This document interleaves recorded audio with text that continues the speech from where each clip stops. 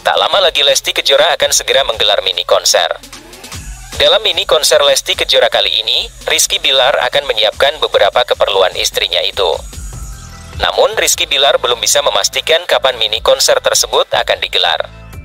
Soalnya Lesti kan bakal ngeluarin lagu baru juga, kata Rizky Bilar. Menurut Rizky Bilar dirinya sedang mempersiapkan mini konser istrinya itu. Persiapannya baru 2,5% ya, kayak zakat, ujar Rizky Bilar. Rizky Bilar mengatakan bahwa dirinya belum bisa memastikan apakah proyek kali ini akan digarap sendiri atau lewat label Lesti Kejora.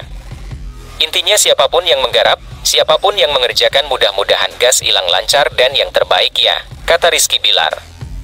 Bahkan dalam ini konser Lesti Kejora itu, istrinya itu akan berduet dengan Rizky Bilar. Dalam proyek Lesti Kejora kali ini, Rizky Bilar mengaku hanya sebagai peran pengganti.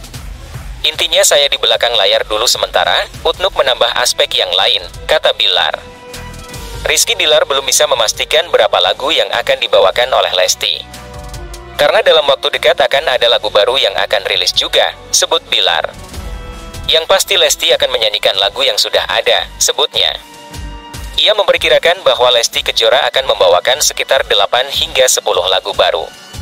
Tapi siap tahu Lesti mau mengeluarkan lagu barunya yang mana nanti bisa dinyanyikan di konsernya tersebut, katanya. Ditunggu aja pokoknya ya, katanya.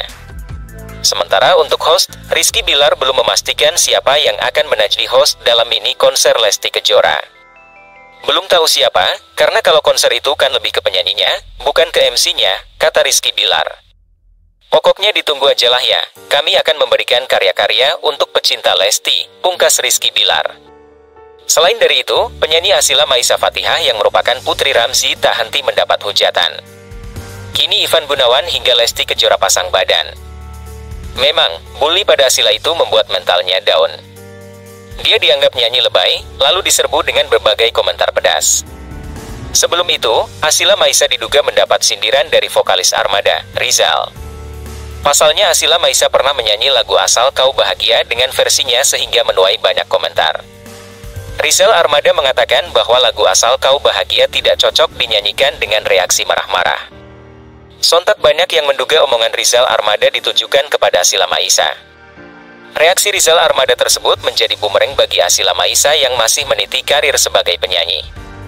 Sebelumnya juga, Ramzi selaku ayah memberikan dukungan kuat untuk Asila Maisa yang baru mulai berkarir. Ia mengerti perasaan putrinya yang tak henti dihujat karena memiliki cara bernyanyi yang berbeda. Abi akan berikan kesempatan untuk kamu karena Abi yakin kamu mampu, ujar Ramzi. Pastinya kamu sanggup melewatinya, jangan pernah berpikir kamu akan bisa ini dan itu karena kamu anak Abi, sambungnya.